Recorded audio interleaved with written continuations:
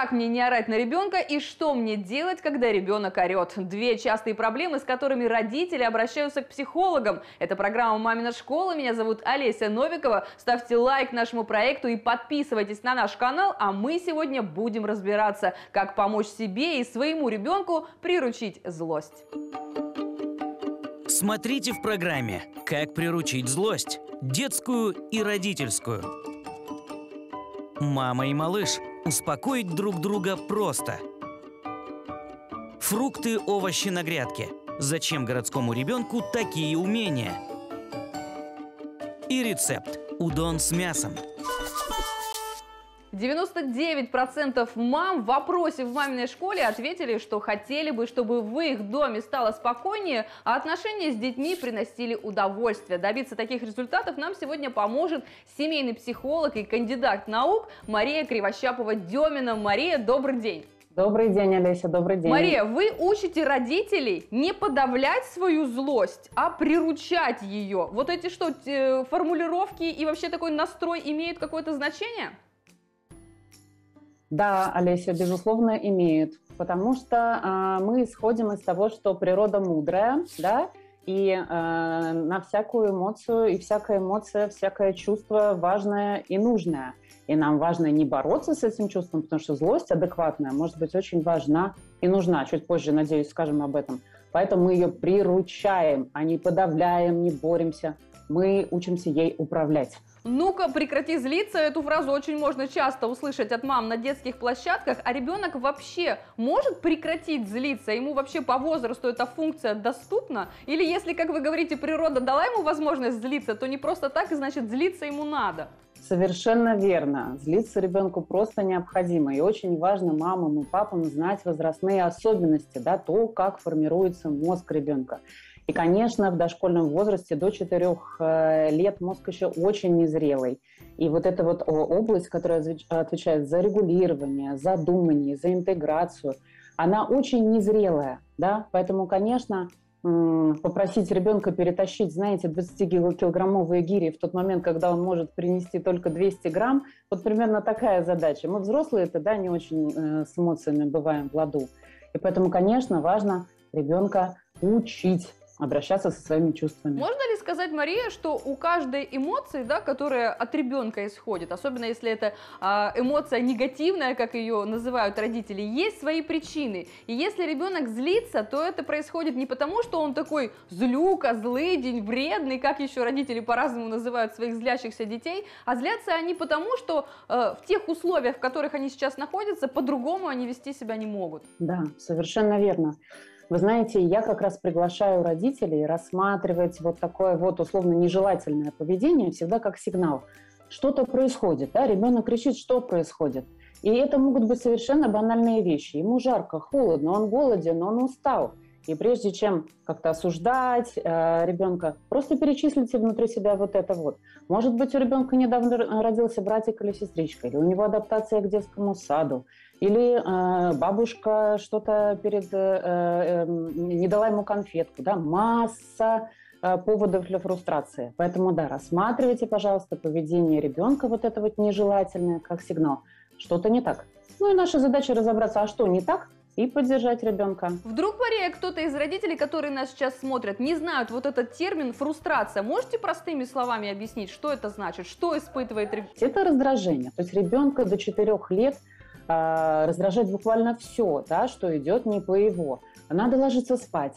Э, хочу конфетку вместо супа. Не дают поиграть. И мультиков много не дают. Я вообще хочу валяться на полу. То есть э, буквально все огромное количество поводов для раздражения у ребенка. А регулировать он это еще не научился из-за незрелости мозга.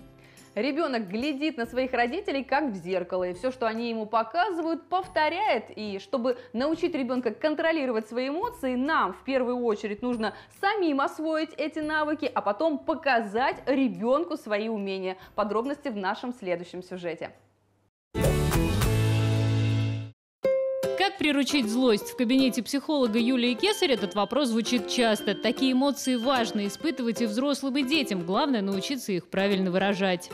Все-таки злость нам дана, чтобы отстаивать свои границы, добиваться того, чего нам хочется. И каждый родитель, наверное, желает, чтобы у ребенка были здоровые отношения со своей злостью. Поэтому я считаю, что злиться ребенку обязательно нужно позволять, но направлять его эту энергию в позитивное русло. Ребенок понимает, что злость это не что-то страшное, что это нормальное чувство, присущее каждому человеку, и обретает э, уже инструменты, как с ней обращаться. Когда злость наступает, нужно выдохнуть, и лучший инструмент для этого – воздушные шары. Вспоминаем ситуацию, что вызвало гнев, набираем полные легкие воздуха и надуваем шар. Вот смотри, вот здесь наша злость хранится. И чем больше у нас злости, и мы ее в себе держим, держим, держим, складываем, складываем, тем больше шарик надувается, и со временем он может лопнуть от этой злости. Поэтому важно свою злость не накапливать, а постепенно выпускать. И мы сейчас попробуем с тобой, чтобы нам шарики помогли выпустить нашу злость. О, видишь, как мой шарик громко ругается? У меня в нем было много злости. Выражать злость легче, если все в порядке с эмоциональным интеллектом. В помощь детям и родителям психологические игры. Пишем на карточках различные ситуации, которые могут вызвать чувство злости. В пример можно приводить реальные случаи.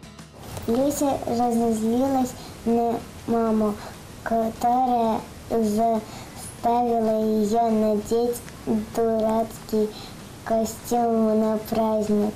Бывает, что ты злишься на родителей. Бывает, что злишься на родителей. Когда злишься на родителей? Ну, когда я что-то не хочу, надо делать.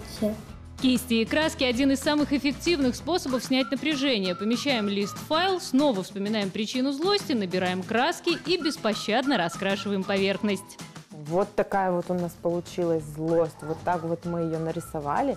Теперь нам нужно брать чистенькие листочки и промакивать ее. Вот так вот злость она возникает, вроде бы она сильная-сильная, но когда человек умеет с ней справляться, может ее выражать, не держит ее в себе, то ее становится меньше и меньше. А если белоснежных отпечатков недостаточно, сворачиваем их в плотные свертки и вступаем в бой. Еще один способ высказать все, что накопилось – игра «Лепешка». Ее разработал немецкий психотерапевт Гюнтер Хорн, чтобы помочь детям и родителям прожить гнев и злость в игровой форме. Вместо готового набора можно использовать поле любой другой игры-бродилки. Понадобится кубик и пластилин. Каждый участник лепит фигурку из пластилина того цвета, что и поле. Если на поле попадает чужак, хозяин должен обвинить его за какой-то проступок. Змейка, ты вот приползла ко мне в домик, Мало того, что без разрешения, ты залезла в мой компьютер и удалила все мои документы. Прости, я потерялась и случайно. Если извинений недостаточно, владелец поля может наказать обидчика, щелкнуть по фигурке, изменить его форму и даже превратить в лепешку. Я, конечно, тебя понимаю, но простить не могу, потому что там было много всего очень важного. И Нечего лазить в мой компьютер. Вот так вот тебе. С помощью боя подушками или боксерской грушей специалисты говорят, выражать гнев можно и нужно, но грамотным способом. И если делать это в игровой форме, в реальной жизни не останется места затаившимся обидам и подавленной злости. Сегодня семейный психолог Мария Кривощапова-Демина помогает нам разобраться, как же не подавлять свои эмоции, а выражать их экологично. И мы продолжаем. Мария, если родители еще принимают злость ребенка, когда она направлена на кого-то другого вовне, даже в этот момент его поддерживают, поддерживают жалеют, то когда ребенок злится на своего родителя, вот тут, говорят, молоко на губах не обсохло, не имеешь права на меня злиться. Вот что на это скажете? Потому что почему родители так реагируют? Говорят, злиться на маму, значит, маму не уважают. Вот такой знак равно ставят. Да, действительно, есть такое э, мнение, и родителю действительно бывает очень обидно. Как же так? Я все делаю для ребенка, да, а он на меня злится недоволен. Конечно, это не равно неуважение, нет. Ребенок любит и уважает. Это действительно просто связано с тем, что ребенок не умеет э, эмоционально регулироваться, да, его чувства очень он что испытывает, то и э, показывает, да, не умеет еще интегрировать чувства, задумываться. Вот если я тебя ненавижу, значит, я тебя ненавижу, говорит он маме, вот прямо сейчас. И вот этот вот момент интеграция чувств, он только наступает э, в возрасте 6-7 лет, когда префронтальная кора созревает. Поэтому не берите, пожалуйста, на свой счет. Ребенок выражает свои чувства, это не значит, что он действительно вас не любит. Причем на самом деле, Мария, это же ведь всегда так быстро и коротко происходит. Вон только что тебе говорил, что он тебя не любит, кричал на тебя из леса, через несколько минут он уже тебя обнимает, ласится как котенок. Да-да-да, это ровно про возрастную незрелость. Ребенок не умеет смешивать чувства, да, это мы взрослые. Можем понимать, что я могу излиться, но одновременно я люблю этого человека. А ребенок не научился, нет этой способности пока возрастной. Да? Если он ненавидит или если он любит, это прямо Всем всем телом, всей душой. На все сто. Хорошо, Мария, что такое слезы тщетности и почему ребенку обязательно нужно разрешение эти слезы выплакать? Нужное количество в своем возрасте. Да, да, слезы тщетности – это путь к адаптации. Вот когда ребенок злится, да, а, допустим, он строит какую-то башенку, а она не строится, падает, рушится. И эм, когда она разрушается, это очень горько, очень больно и очень обидно, да. И ребенок начинает плакать и проживать это. И вы рядом можете проговаривать, что это очень обидно, и ты рассердился, и так не получается, да. И прожив вот это вот, и сделав какой-то вдох и выдох, он может сказать, ну ладно, давай следующий, да, или вы можете сказать. И это путь к адаптации, да, и если мы не даем проживать детям эти слезы тщетности, то потом у нас будут проблемы. Мир же очень э, непредсказуемый, да, и любое то, что идет не по плану, будет вызывать очень много, очень много А не по плану А в любом случае что-то будет идти. То есть не, не удастся нам расстелить везде ему дорожку и соломку. То есть учим, да? Да, Но да, очень да. часто, Мария, вот Учим. э, мама, когда слышит, что ребенок плачет из-за того, что у него что-то не получается, ее это раздражает. Почему? Это потому, что активизируется ребенок внутри нее, да. Мы же все были сами когда-то детьми, и это актуализирует, э, проявляет наш э, собственный детский опыт. Может быть, вам запрещали плакать, и тогда это невозможно слушать, да, и почему? А может быть, вам тоже горько. То есть вы как бы становитесь из взрослого ребенком, не можете контейнировать, да, чувства э, как взрослые, сказать ему, да, ты злишься, иди сюда, тебя пожалею. А тоже начинаете, условно говоря, из детской позиции запрещать, злиться и так далее. Да? То есть вы теряете взрослого внутри себя. А знаете, что еще может успокоить? Это совместное дело, которое интересно обоим. В следующем сюжете работающие рекомендации, как вырастить с ребенком огород.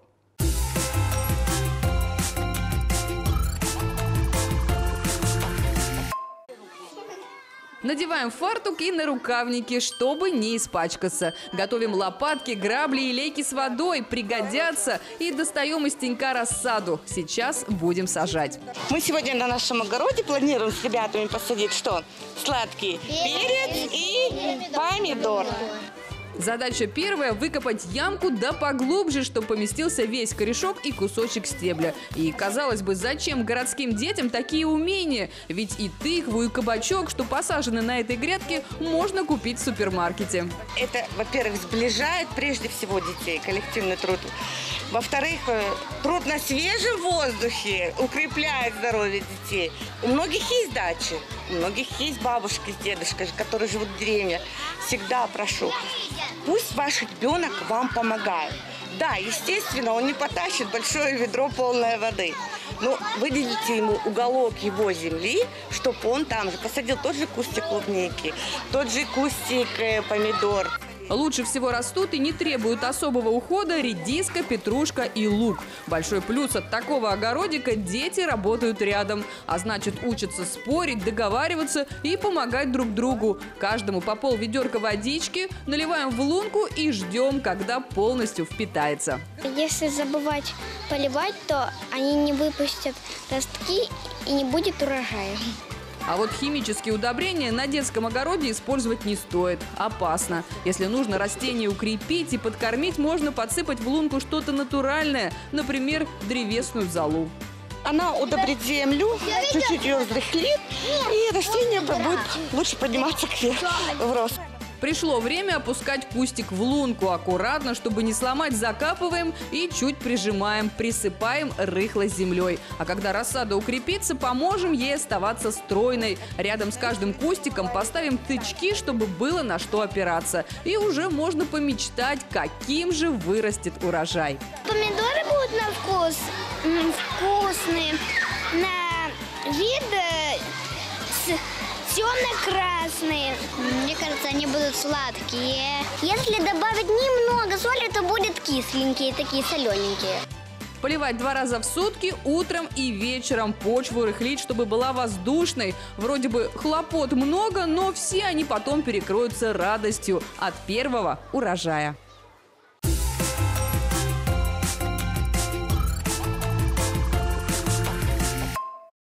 Сегодня вместе с семейным психологом Марией Кривощаповой-Деминой учимся понимать, что чувствует ребенок и разбираемся, как ему помочь справиться со своими сложными чувствами. Мария, можно сказать о том, что ребенок, когда злится, особенно остро нуждается в своих родителях, в своем близком взрослом. И вообще, можно вот этот факт, если это так, использовать для того, чтобы эти отношения укрепить, наладить и еще больше сблизиться? Да, именно так и предлагают делать современные э, ученые. Рассматривать ситуацию, когда ребенок злится или э, в очень уязвимом положении, как ситуацию для сближения, да, как ситуацию э, для того, э, чтобы вы могли ребенка чему-то научить. Саморегулироваться, осознавать свои эмоции, а, справляться с ними, когда вы можете оказать поддержку, выяснить, как вообще э, ребенок живет, что с ним происходит, да, научить его очень важным, полезным навыкам. А, Эти чувства и эти ситуации позволяют нам. К слову, и для взрослых также работает. Если вы воспринимаете конфликт как точку роста и сближения, это совсем другое дело. Кстати, мне кажется, Мария, что вот в тот момент, когда мама переключается вот с этого подхода, что ребенок злит меня, на ребенок нуждается во мне, она вот как-то поспокойнее начинает на все вот эти вот э, э, злючки, да, проявления реагировать.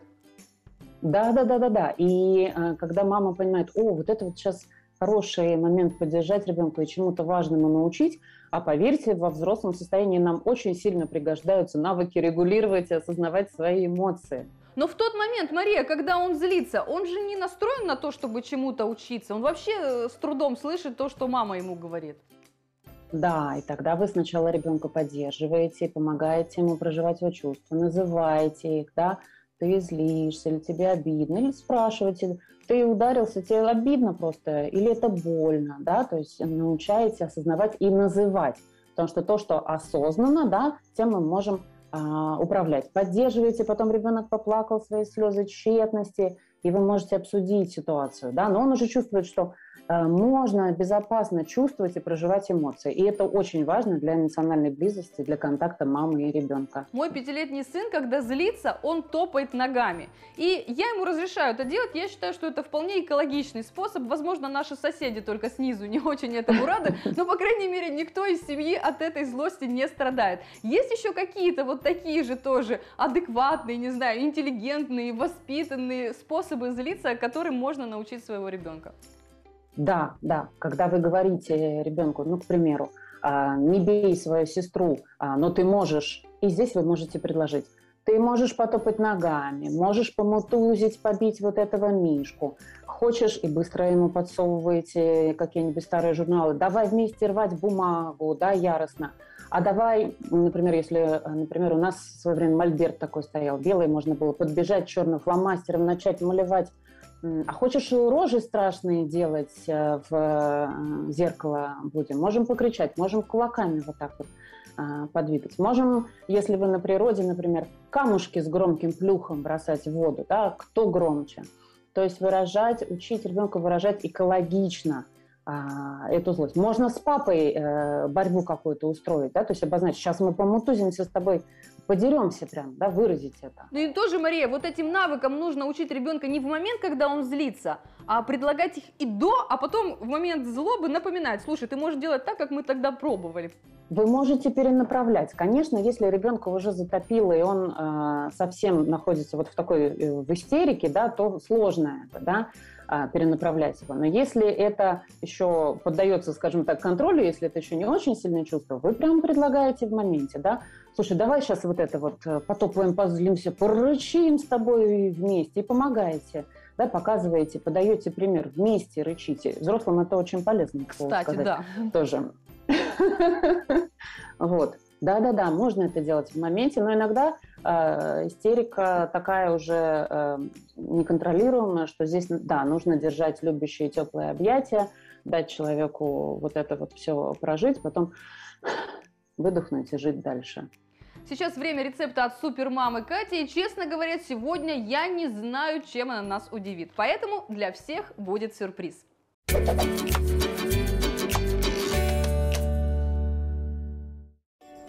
И что? Тебе нужен фарш? Ему нужен фарш. А мы сегодня готовим очень простое и понятное блюдо. Это лапша в восточном стиле. Смотрите, у меня тут стандартный набор. И вот что я предлагаю. Если лапша, то замените ее на сорт удон, если найдете. Фарш лучше брать говяжий, он идеален к этому рецепту. Томатная паста вроде, казалось бы, обычная простая, но на самом деле можно взять острую корейскую пасту, тогда у блюда появится пикантность. И если сыр, то можно использовать не обычный стандартный сыр с э, таким пресным запахом или сливочным, а острый, пряный, такой яркий. И кунжутное масло. Все знают, что оно очень вкусно пахнет. И да, я забыла, соевый соус без него никуда. Вода закипела, значит время отварить лапшу. Делаем это до состояния альденты. Можно сломать пополам. А теперь, пока все там варится, нужно сделать соус. Для этого берем соевый соус. 30 миллилитров нужно. Так, столовая ложка сахара и туда же добавим кунжутное масло.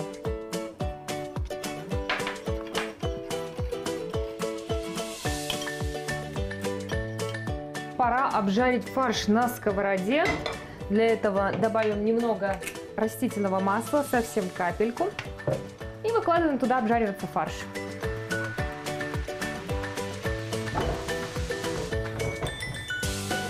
Все, тут уже практически готов фарш. Теперь натираем туда сыр. Нужно совсем немного и желательно, конечно, на мелкую терочку, чтобы оно все быстро между собой подружилось. А потом добавим туда соус на основе соевого соуса и кунжутного масла. Кстати, вы можете добавить в этот соус а, уксус, либо капельку лимонного сока. Тогда получится кислинка. А так, очень пряный сладкий вкус. Пока все не выпарилось, добавим томатной пасты. Вот такой сок красивый, очень классный соус. И пахнет просто невероятно. И следом добавим лапшу. Иди сюда.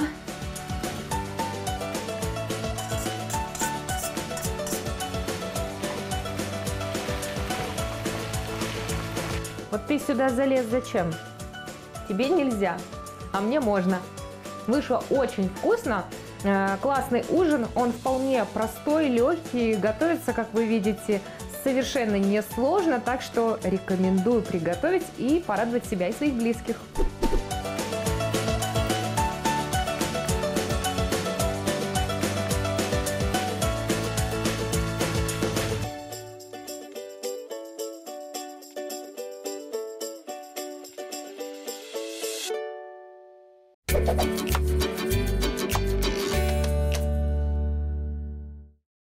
Рецепты супермамы Кати мы собираем на нашем канале на YouTube. Там десерты, гарниры, салатики. Все очень быстро, просто и низкокалорийно. Я рекомендую вам на наш канал подписаться, чтобы не пропустить новые идеи. Мария, я хочу затронуть и тему маминой злости. Вот про детскую злость мы уже поговорили, потому что мамина злость это эмоция часто неконтролируемая. То есть вот так сорвала и полетела. Вот что делать во время вспышек злости маминых? После и до. Вот меня интересует профилактика этих вспышек вообще возможно? Вы знаете, вообще э, очень глобально то, почему мама злится, э, можно разделить на две большие причины. Так. Первое – это, конечно, вопрос маминых ресурсов. Если вы уставшая, истощенная, не выспавшаяся и так далее, да, то, конечно, вы часто можете срываться, злиться, и это совершенно нормально. И тогда важно целенаправленно заниматься ресурсами. Вторая основная причина связана с тем, что, как мы немножко уже упоминали, да, что ребенок нажимает на какие-то ваши собственные красные кнопки, да, то есть актуализирует ваш собственный детский опыт. И тогда имеет смысл здесь разбираться чуть эм, поглубже. Но что можно сделать в моменте? Это э, все более глубокие вопросы. Что можно сделать в моменте, когда вы чувствуете, что, что злость подступает, и сейчас вы сорветесь? Вы делаете глубокий вдох и задерживаете дыхание. Что происходит в этот момент? Как можно дольше задерживаете? мозг лишается кислорода. Он уже перестает думать, э, как ребенок себя ведет. Мы перебиваем, сбиваем, меняем доминанту. Сейчас он думает только, как спасаться. начать дышать. То есть это для него теперь главная задача. А про то он Абсолютно уже забыл. так. Да, и, и это ваша спасительная пауза. Да? Вы сделали этот вдох, потом выдохнули, вы можете сделать еще раз. Это очень короткий прием, но он помогает. Еще один, то есть задержка дыхания, да, вы практиковать. Еще один важный момент, тоже простой. Это смена положения тела. Когда вы спускаетесь на уровень ребенка, садитесь с ним, например, э, на коврик, да, вам гораздо сложнее злиться, чем когда вы строгой огромной фигурой нависли над вашим маленьким малышом, правда? А если ну, лечь конечно, на пол, так всего... вообще кричать больше не получится. Да, неудобно. Ну и во главе всего, конечно, важно осознавать, что вас раздражает, что вас включает. И, соответственно, если вы действительно уставшие, это не ребенок виноват, да, что вы уставшие. И это не его надо чинить, а маму надо чинить. Да, да, это ваша ответственность позаботиться о том, как бы мне себя наполнить. Но вот эти два приема, да, с дыханием и со сменой положения тела, я предлагаю мамам попробовать буквально сегодня. После злости, после крика, Мария, надо идти извиняться, Ой. объясняться, не знаю, плакаться ребенку в плечо или сделать вид, что ничего страшного, всякое бывает. Вы знаете, э, да, важно уметь брать ответственность за ваши срывы на себя, да, а не ты плохой, и я из-за тебя сорвалась, да, а это я устала, малыш, я устала, я сегодня плохо себя чувствую, я не домогаю, прости меня, пожалуйста, да. Но и важно, э, опять же, понимать, что вам нужно научиться приручать злость и двигаться э, к этому шажок за шажочком. А просить прощения в этом Нету ничего страшного. Это очень важный навык учить ребенка, что мы живые, и что взрослый тоже может ошибаться. Можно ли, Мария, злость делить на адекватную и неадекватную? И может ли мама научиться злиться адекватно? Потому что если мама так умеет злиться, то, мне кажется, и все члены семьи тоже этот навык быстро от нее смогут перенять. Совершенно верно. Да, мы с вами и начали с того, что злость может быть адекватной, и на самом деле она нас защищает от многого. То есть вариант вообще не нет. злиться, это не вариант, такого быть не может. Конечно, нет. Иначе, когда на вас нападают, наступают вам на, на ногу и нарушают э, всячески ваши границы, осознанно или неосознанно, вы тогда не сможете это осознать. Поэтому адекватная злость, адекватное раздражение, а, я голодна, да, я устала. Мы по ней понимаем о своем состоянии, да, это мне не подходит. И вот чем отличается адекватная злость от неадекватной – что мы ее осознаем на уровне раздражения. Нам не нужно идти злость, ярость, гнев э, и так далее по этой лестнице гнева вверх, чтобы она становилась неадекватной. Поэтому, да, здоровая злость очень полезна, нужна э, и важна. И выражать ее бывает э, очень нужно. А как вот маме выражать ее тоже, да, экологично? Вот хорошая фраза, экологичное выражение Словами. эмоций. Словами. Говорить. Э, слушай, а, и ребенку, да, а, я уже очень сердитая, я уже очень злюсь. Я помню, я своей дочке показывала старшей, вот у меня терпение вот столечко уже осталось, да, прям визуально, пока вот чуть-чуть осталось. Уже сейчас все, уже терпение заканчивается. И дети, они хорошо научаются, когда вы осознаете свои чувства, да, они тоже достаточно быстро могут научиться это делать и говорить. Но чаще всего ребенок, вот для него это вообще всегда как сюрприз такой неприятный. Мама вроде сидела, сидела спокойно, потом дыш, начала резко орать и злиться. И, и он частенько просто вообще не может понять, что вообще вызвало эту вспышку ярости. То есть, когда мы вот это вот терпение, да, на пальчики показываем визуально, когда словами говорим, ребенку проще в наше состояние тоже войти и нас понять. Конечно, конечно. И главное, вы сами начинаете осознавать, что со мной происходит. Вам не нужно до, до этой точки кипения доходить. Да? То есть вы отлавливаете себя на уровне раздражения и, собственно, делаете какой-то шаг два, чтобы это раздражение снизить. Берете паузу, отдыхаете, звоните подруге, а, сажаете малыша чем-то заняться таким, чтобы выпить чашечку чая, ну и так далее. Свои способы, да, какие-то прийти в себя использовать. Чудесно. Мария, спасибо вам большое за помощь, за то, что не критикуете, а поддерживаете. И чем больше мам услышат то, что вы говорите, тем больше вокруг нас будет счастливых семей. Я вам желаю успеха в вашей хорошей, важной работе. Спасибо большое, Олеся. И э, да, очень рада участвовать у вас.